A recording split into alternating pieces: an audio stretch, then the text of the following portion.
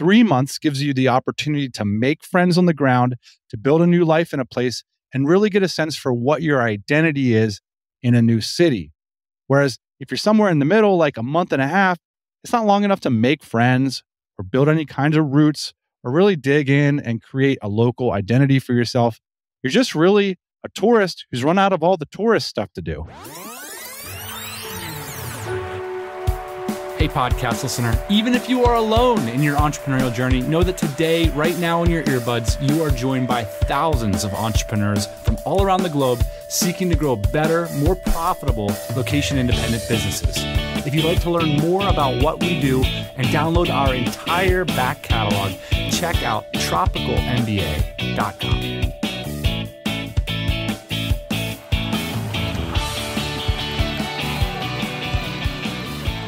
All right, welcome back.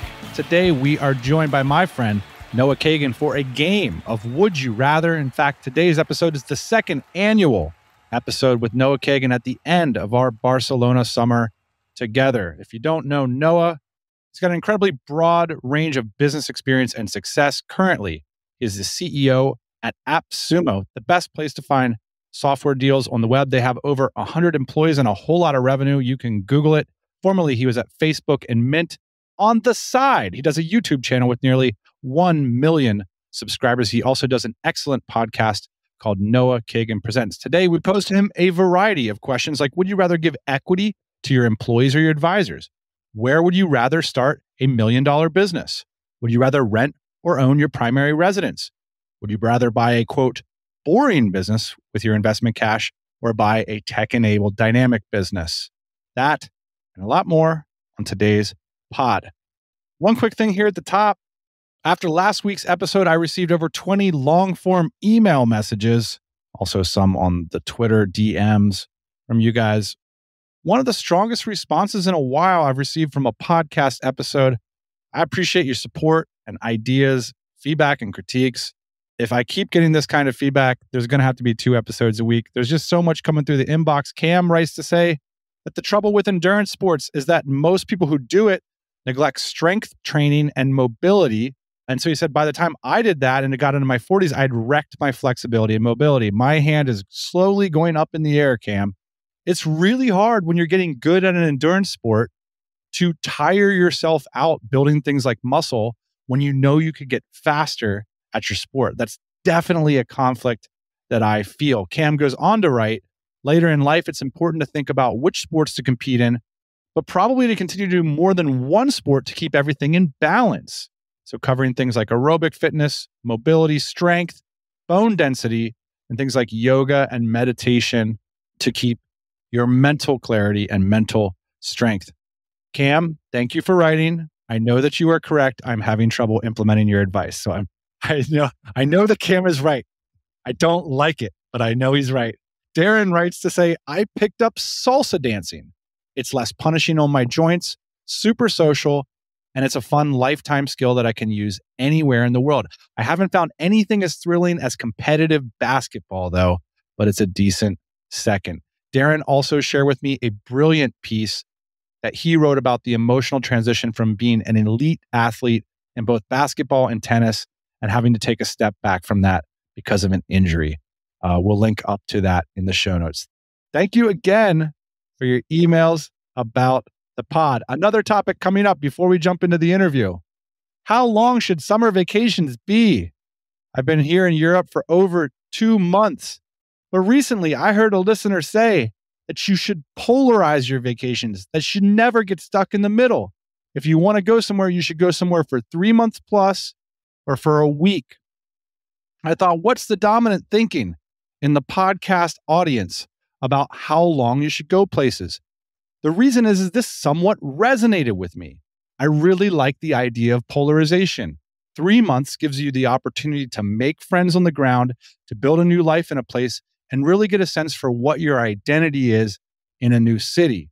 Whereas if you're somewhere in the middle, like a month and a half, it's not long enough to make friends or build any kinds of roots or really dig in and create a local identity for yourself. You're just really a tourist who's run out of all the tourist stuff to do. So why not just put down the telephone, put down the laptop, and really enjoy yourself in a new place do the tourist thing. I think doing that less than a week, couple days, that's the way to go. So, really cool advice and framework on the polarization thing, although it doesn't work for everything. Like recently, my partner and I went to Thailand and we were there for 10 days. And it was like, hey, that's not enough. We flew the whole way to Thailand, did some research online about it. Turns out a lot of people have these frameworks where it's like, it depends how long it takes you to get there. And that makes a lot of sense. Like, if you're going to fly for a 30 hour itinerary, maybe two weeks, maybe three weeks, two to three weeks makes a lot of sense because you've invested so much to get there. But if you've flown across the pond to come to good old Europe, for example, maybe seven to 10 days is a little bit more appropriate. And then, of course, you've got your weekenders, which you can do all throughout the year with relative low investment and low stress. I like to stick personally to this idea of being polarized as a location independent nomad who tends to move around quite a bit, but I make exceptions if I got personnel or a plan. And so here in Barcelona, I've both got friends that have been with me all summer. We're hanging out, throwing paper airplanes in the office. We've also got a plan. We're riding our bikes multiple times a week, organizing get togethers, doing weekend trips, and generally just having an awesome, big, chill summer. So if you got personnel or a plan, I think you can go away from the polarized strategy. But I do think in general, this idea that three months plus or keeping things on the shorter end make a lot of sense. I'd love to hear what you think. Have you ever gone someplace as a nomad or just relocating for a while for like a month and a half and been like, I wish this would have been 10 days or two weeks? All right, that's it at the top. If you want to hear some news, I'll come back at the end of the interview to share some things I've been up to this week. But right now, I'm super excited to introduce you to my good friend, my office mate, and now second annual Tropical MBA guest here for a game of Would You Rather, Noah Kagan.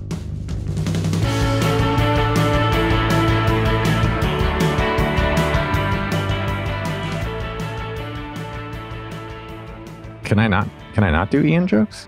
You can do Ian jokes. Hey, what's up, guys? It's Ian Schoen. Yeah, so I was working on my Miata. Well, let me tell you, that's a real American car. Go ahead and do your Ian impression. Go ahead. You can put it on wax.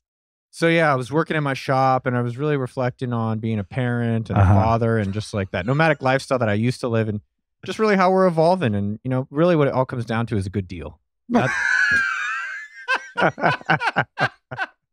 So like- another one. I'm, I'm- this, this is uh, You know, Let me just talk to you guys about so, you know, everyone knows I'm from West Virginia, born and raised. Anyways, I live in Austin now on a ranch, but and it was a good deal. You know, that's we come back to it. It's a good It's a deal. good deal. I love my business partner Dan. That's that's probably the first thing. Like in my life, there's Dan, my family, and then the DC.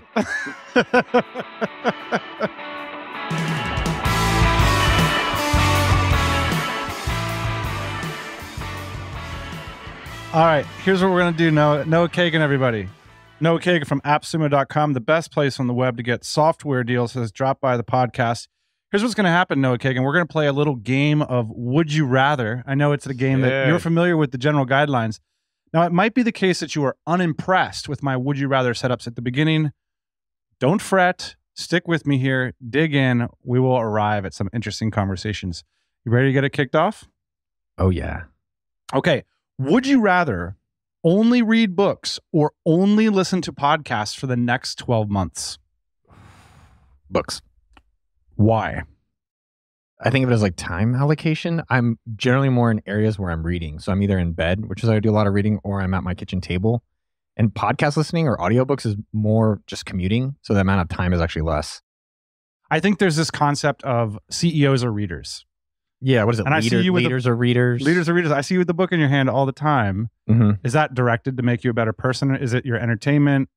Yeah. So would, the would you rather is interesting too, because I do think there's also a big discrepancy between podcast learning and audiobook learning. Okay. I think like podcast learning is inspiration, and then audiobooks are kind of like denser information. You might actually learn something. Like you're trying to learn an actual thing, where podcasts for me are like, Dan and Ian said this, which then sparked this, which then led me to that. Yeah. But then an, an audiobook, it's like I'm listening to Greg LeMond's The Comeback, which is so phenomenal. It is. It's so phenomenal. It's a great story. I'm not necessarily learning anything, but it's just like an entertaining story. I wonder if that's an opportunity for podcasters Because like you see some shows now coming with this audiobook density. Yes. Huberman's an example of that. Mm. Founders is an example Founders is fire, dude. And I've always had this idea of how much time are you folding into one, say, 30 minute podcast? What Gimlet essentially did was showed up to the scene in what was it, 2014, Mm. and they were like, instead of spending 10 hours on 30 minutes, we're going to spend 80 hours on 30 minutes. And- They built, I don't know how many millions of dollars of a startup off of that one simple observation that they were going to fold more time into the podcast. And I wonder if there's an opportunity, like seeing the Huberman podcast kind of blow up in the past couple years. What I see there is an operator who understands the medium and understands they need somebody with the experience and track record, but they can facilitate them to bring that to market in terms of really well executed episodes. I was even thinking last night, and I was like, man, I want more denser information of things I want to learn. And I was like, is it even out there? Right? Like in business, like operation management of companies that are around 100 people, which is give or take where we're at. Or how do you go from 50, 100 million to beyond? Like, where's that information? Where do you learn how to run a 100 person company right now? Like From coaches, right? Is that Twitter and TikTok. I buy these guru courses, really, and uh, I'm going to cut this off. Get back to our lowbrow game of would you rather? Would you rather give equity to your employees or your advisors? Oh man, I'm gonna say neither. Do I have to choose? No. It's your show. I don't because I, I don't mean to be the, the I hate when that I don't know why this question occurred to me, but it occurred to me before this conversation. And now you're talking about advisors. Yeah, we've done both. I've done both. I've given equity to very early advisors who gave me some advice and then kind of checked out. And they are on our cap table. They own part of the Do you, business. are you for- public about how much of AppSumo you own? Yeah, I'm, I'm fine. I'm Almost about 60%. Okay. And then Chad, my, there's 40% that we're talking about right now. no, Chad, my business partner, owns the other majority. Okay, Chad Boyda, who is the CTO. CTO. And yeah, he joined about nine months after I started. Okay. And has been with me ever since. We've been together. Not he's been with me. I've been with him. and um, we own the majority. And there's about 10 or 15% outside of that. Got it.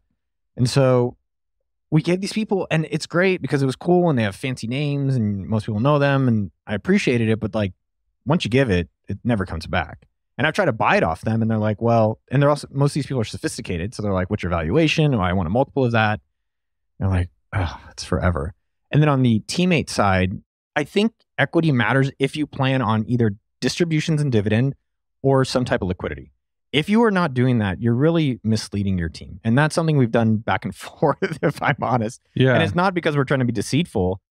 there's like norms, right? Employees show up and they ask for that stuff. It depends on the types of teammates or employ. If you can call them employees in general. At AppSumo, we do like calling them teammates, but it depends on the employee. Sophisticated Silicon Valley people, minimum, what's my trigger? What's the vesting schedule? What's the cap table look like?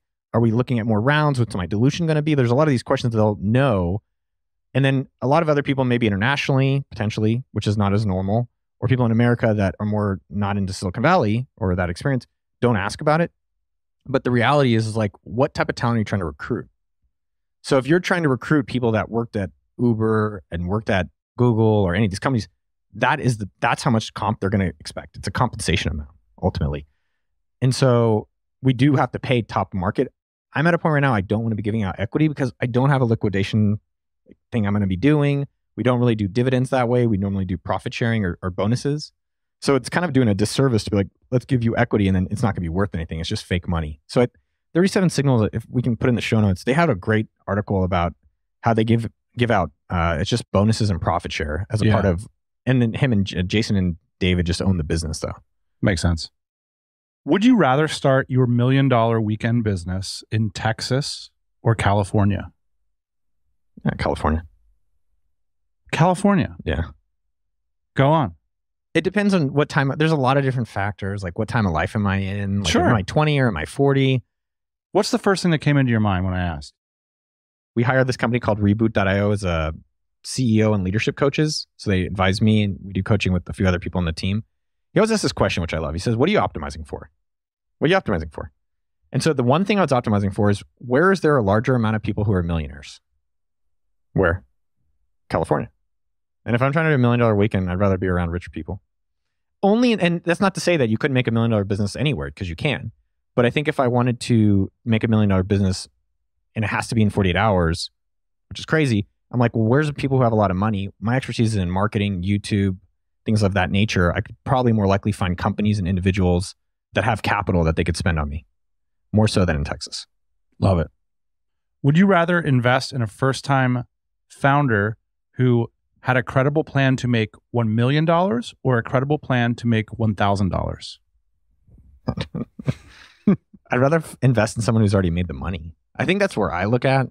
I only invest in products Wh- when I do angel invest. I've done maybe ten. Only invest in I only invest in products I use. Like I have to have used or kn- your product or really really know you super well. But almost it's exclusively products I've used. So I don't generally invest in plans. What if you had to bet on a founder? I don't know if the money alone is the only measurement, but pro- You only knew two pieces of information yeah, about that that one wants to do a thousand, one wants to do a million. Maybe the thousand. I think it's more realistic. The argument, counter argument's like, well, a million, they have bigger dreams, bigger visions, but it's also, it's like further away, and most people never start. I was teasing the team about this yesterday because we're, we're doing 2024 budgeting. I'm like, yeah, just change the number on the spreadsheet. We'll just do it. Whatever, change the number. It's like, yeah, it's spreadsheet math. It's spreadsheet business. But the reality of getting a dollar and getting a customer and keeping them happy and making sure you have profit is much harder than changing a spreadsheet number. And so I think if you can get the confidence and get something at a thousand, there's more likelihood you can evolve it and get it to a beyond. It's a bit of an alley oop because sometimes I think of you as the think small guy. Wow. Uh, what makes you think of that? Well, let me put it this way you encourage people to get momentum and start right now. It's like you're the Dave Ramsey debt snowball guy. He's like, if you put it up on a slide deck and you know you had your spreadsheets and stuff, sure, it makes sense to like pay off this loan first. But something about the million dollar weekend strategy, your kind of philosophy for business taps into this idea. It's actually really important to put money in the bank account right now. It's all about momentum. Everything in business is momentum. It's like get going. Like the detriment of business is when you're sidelining, when you're thinking about it, you're like, oh, I got a plan. No one cares about your plan. Your customers care about their problems in their life. and so I think the idea that you can cares about your plan. I love it. right? Customers care about their problems.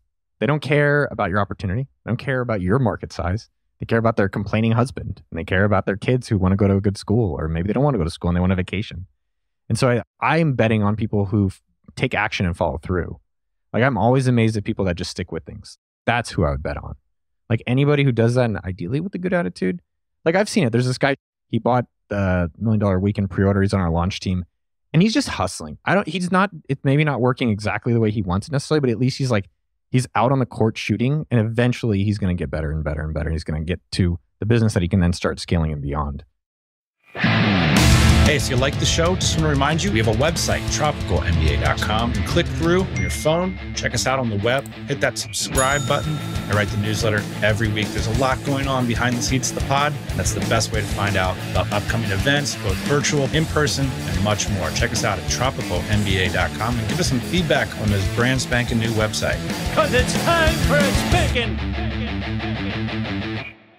Would you rather traditionally publish or self publish? Depends on your goal. I'll tell you, I'm, I'm traditionally publishing right now. So it depends on your goal. If you're wanting to be a consultant or a thought leader, or an influencer, traditionally publishing helps because if you have, I'm a bestseller, which for some reason, bestseller is like the new 30 under 30 from Forbes. Like everyone's a bestseller now. Like Oh, you could be a bestseller in a category of seven books. yeah, it's like no one's a medium seller or like an average seller. Solid, consistent seller. Yeah. I think there's different strategies. Let me reframe the question. I think it'll put in, in. If someone told you they went to Harvard, what do you think? What's your first thought? They're smart. There is something there when you're published with, like I'm published with Penguin, which is the number one thing and number one publisher, and I'll be in, you know, some bookstores and everything. You're still like, man, it's Harvard, it's MIT. Ah, but colleges sucks. But there's still like an association there Yeah. more so than if you're in a self-published book. And self-published books, like name any. Let's just even take five years because self-published has been popular, not just recent, for years though. Is there any book in the top five in your in your mind that you're like, oh man, I bought this ebook, I bought this Kindle Direct published book that just like that just crushed. yeah, yeah. That was self-published, and I can't really think of many. There's some like cult books. Like the one I revisited recently was exploitative play in live poker by Alex Fitzgerald. It's so good. It's like there's it's one of the best books written about poker of all time, and it's kind of got this mystique because it's, it's hard to get your hands on. but- Totally. I mean, and there's trade offs. Like I've been, so I'm, I've done two of my own little self publishing books that I don't even know if they made like, maybe they made a few hundred bucks, maybe a thousand bucks. And I would say the, the traditional publishing takes longer to get to the book. It took me three years for proposal, one year, writing the book, two years. And now it's about a year to, to get ready to launch it. Wow. And then, so it, it takes time. There's a lot more like scrutiny. Like I want to include a QR code in the book. And they're like, oh, we, legal doesn't know if they want to do that. At the end of the day, it's fine. But there, and there's some, there's a lot of benefits. Like, you know, they have access to shows when you're more traditional, like not access, but they can probably more likely get you on CNBC, like YouTube channel, which is a pretty Yeah. big YouTube channel. Doesn't mean I, I could probably get that potentially without it. I'm happy with traditional publishing. I just don't know if I'd want to do another book. The other It's a lot. You're in the middle of it. Um, yeah, I'm on. I got maybe about five months for launch, but I'm glad. I think with when you work on an internet business, everything is quick, and I wanted something slow. I wanted something that's going to take two to three years, and I was like, okay, cool, because so much of our businesses, that especially the listeners and, and Sumo and yours, and it's like, okay, we have a three month quarter. What's our plan? Yeah. Or one month plan. Yeah. So I was like, okay, what's my like three year, four year plan? Because I'm not. I don't generally think that way. I'm generally thinking about one year timeframes. Speaking of one year, would you rather in one year be stopped more or less by fans of your YouTube channel? More. What does it feel like? What does it look like when you're walking down a street? It happens quite a bit. I was in therapy yesterday. Shout out Larry. and I was talking about how I was jealous of someone. And um, That's very big of you. he's like, Oh, what are you jealous of? I'm like, Well, he's got more attention than me. And he's like, Well, if you had more attention, what does that do for you? I was like, I don't know. Maybe I'd feel more uh, validated. He's like, Well, how come you're not validated right now? Like, what's missing from right now? And it's like, I was like, Nothing. Like, well, and it was this, you know, when people talk about the treadmill of wanting more and more and more and more and more, and when is it enough? And I think what Larry says is, how do I give myself more of the acknowledgement where I don't need the external validation? I don't need views or tweeting about how much money this person has or their exit or what they did with their business. And I'm just more proud of the work I'm doing myself, separate of, independent to some extent of the external validation.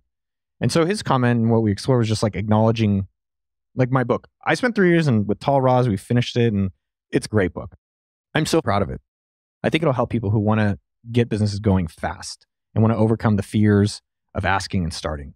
And so, But back to the validation yeah, and part. so back to the validation with all this stuff, I'm just proud of it. I don't need million people telling me it's great or not. I'm I'm proud of it myself. And so working more on that.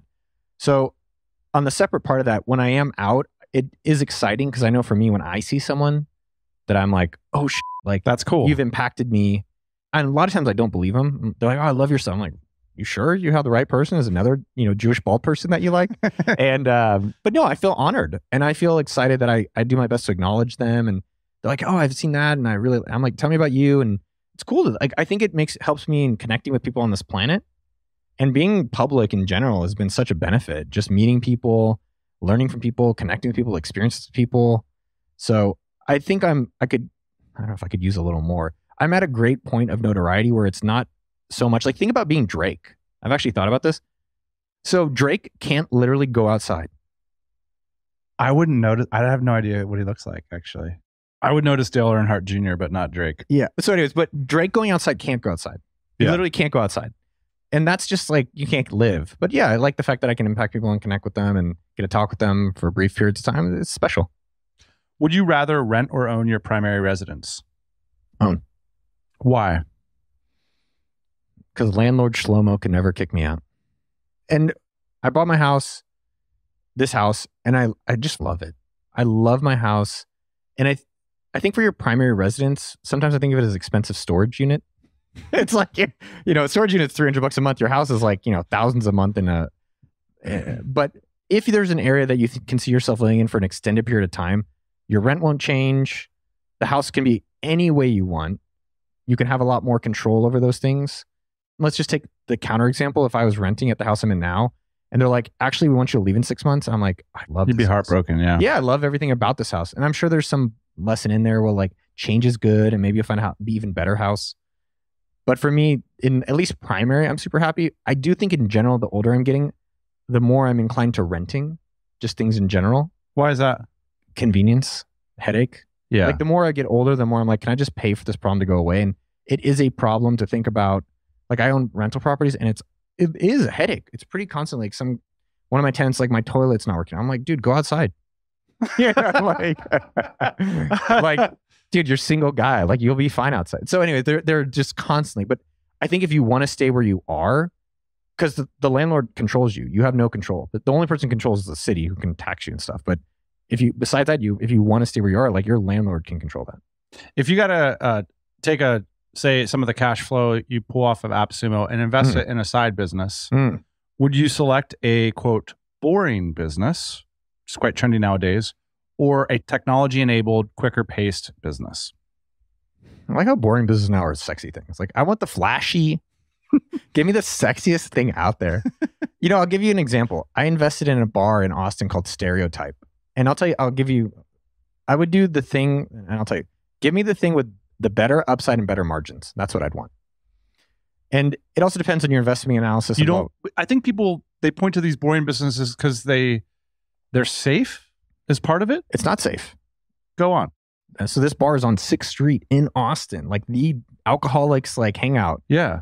this bar was the number one bar. It used to be Kung Fu Saloon, and then these guys bought it, bought the or rented the space, and then uh, they're like, "Hey, do you want to invest?" And I got some money from something, and I gave them twenty five thousand, and I didn't know how. One, I don't know shit about bars, right? Just because you drink doesn't mean you're a good borrower. It went out of business a year later, and then you can take that twenty five thousand, put it in the S and P five hundred, get seven percent on an annualized average return, doubles every seven years. Like that's pretty good right? So the upside of or buying Amazon stock, like the upside of Amazon stock is 100, it could have been 10,000. But a bar's upside, like what's your optimal return? Like 7% cash on cash return a year maybe? 8%? So and the the downside though is it can go to 0 Mhm. Like Amazon probably won't go to 0. So coming back on it, I think there's two ways I would consider it. One, what's your asset allocation? I'm very conservative as an investor because I can't control it. So most of my money's in like the S&P 500, some of it's in real estate, a lot of it's in cash. Another popular strategy, you know, I love everybody knows like the Craigslist expansion contraction diagram where look at all the startups that came Mm. from these Craigslist categories. And a lot of internet commentators will say like there's always times of like consolidation and then specialization. Right now seems to be popular, at least on Twitter, to buy or to invest in an ecosystem of brands like around a core brand. So why aren't you taking AppSumo Cash, which is an extremely healthy company, and building out like an AppSumo ecosystem where your customers flow through to all different types of marketplaces, products, and why not take that strategy up? Isn't it tempting? Taking a step back here, I think there's ways of making money and there's ways of protecting your money. And so I think you have to separate two. It's like what's your active investments and what's your more passive investments. And I think people kind of confuse those. Like I'm going to be a, an active passive real estate investor. It's like it doesn't work that way. Why not? Because if you actually want to make money in real estate, you have to be active. Like this miracle, like I invested in PeerStreet.com and it was like, oh, you can just magically invest in real estate and you'll get money. And they went bankrupt. And my point is, is none none of it's really guaranteed. I guess is the bigger thing. And so I want to control as much as I can around my finances because I don't want to risk it. So your question originally was more. No, keep going with that. I mean, maybe even So the in fact terms that of your the dad apps, lost your money. What did you learn from that lesson? you want to have like enough buffer so that if anything ever happens, you're you're protected. Yeah. so you're protected. And that's also how I've hired people. Like hire people who like have wives, hire people who have kids. Like they're not going to go nomading right away. they're not. They're going to be at home. And they're going to probably not. And you know, I think as I've gotten in my 40s, I'm much more like that too. So in terms of the investing in finances, I think there's now a, We were talking about the ecosystem around I, I think on Twitter, you see these people who like build a brand and then they're like, all right, I've got 18 different businesses. And it's like, all right, which of them are actually doing well? Right. And maybe one. And so I think with AppSumo over 15, it's almost 15 years we've been doing this stuff. Like, really, just AppSumo is the only thing doing well. so one, what I'm trying to tell you is I got lucky once and I'm just riding it. But I, I think the other part of that is instead of trying to do a new thing, how do you make the thing you currently have better? Specifically, let's take AppSumo. So, you know, there's a Twitter approach where it's like, hey, I've got like this consulting business, I've got this courts business, I've got this like I invested in these three companies that are related. I'm trying to say if AppSumo is working, how do I get more people into AppSumo and increase that the actual core of the ecosystem? So how do right now in terms strategically for next year, we're trying to think what can we do to make more awareness and more top of funnel people be aware of AppSumo? And then as we get more partners in our ecosystem, how do we support these partners after they launch an AppSumo? And I think what most people are doing, and I've historically done, is like, oh, let's do like stuff over here on the side. And hopefully that'll be better. It's like, no, why don't you just keep making the thing that has more opportunity even better? End of the business questions. I wanted to ask you at the end here. I actually opened up an episode a few weeks back about I've noticed a lot of people getting injured because we're guys that like entrepreneurs often like sports and competitive sports. And then we keep doing them until we're 40. But you've taken up cycling. I'm curious what cycling means to you. If you could just say a few words on why you ride and why you're involved in the sport. So I'm 41 and I got injured doing a push up. And so what was interesting was because I'm not doing push because I injured my arm doing push-ups, I'm not doing squash, not doing boxing, I'm not doing really like kind of like CrossFitty home high intensity workouts. And so kind of one of these these like cliche things like because that problem happened an opportunity arose where I have more time to go cycling because my legs are fine but my arms are hurting. And it's been interesting. I've cycled for 10 years and only in the past month have I enjoyed it. I know it sounds crazy. I know it sounds a little crazy, but it's more finally getting to a point where I'm skilled enough, quote unquote, skilled enough, where I can do rides that I normally couldn't do, and I can do them in a pace that feels like, wow, there's something happening here. I think of freedom when I cycle. The question always comes to my head. I think about this every time. What are you thinking about when you're cycling? And that's what I think about when I'm cycling. And I'll just share. When I'm going up a hill and it's really hard, and that's what I that's my favorite part when it's really hard. And I always think to myself, no, you're so strong. That's what I think. I think, and I, I'm just like, I guess it's a moment where I'm proud of myself. You know, we talked about promoting and validation externally. I guess it that's the moment of internal validation where I'm just like, dude, you can do hard things. And I get to the top of the hill, and you know, you're already there because you're faster, or you, you know, maybe I'm waiting for you because you're you've been generous to me. And uh, it's a sense of freedom of exploring the world and feeling good about myself. And lately, when I'm on the bike, it's just like and I treated myself finally after when I could have 40 years ago, but I finally started treating myself to a nice bike, probably 10 years. And it's like, wow. It's like a, a wow feeling. A lot of that. It's all, that's all that. It's cool. Noah Kagan, thanks for joining us on the podcast. Shout out, Dan. Thanks for having me.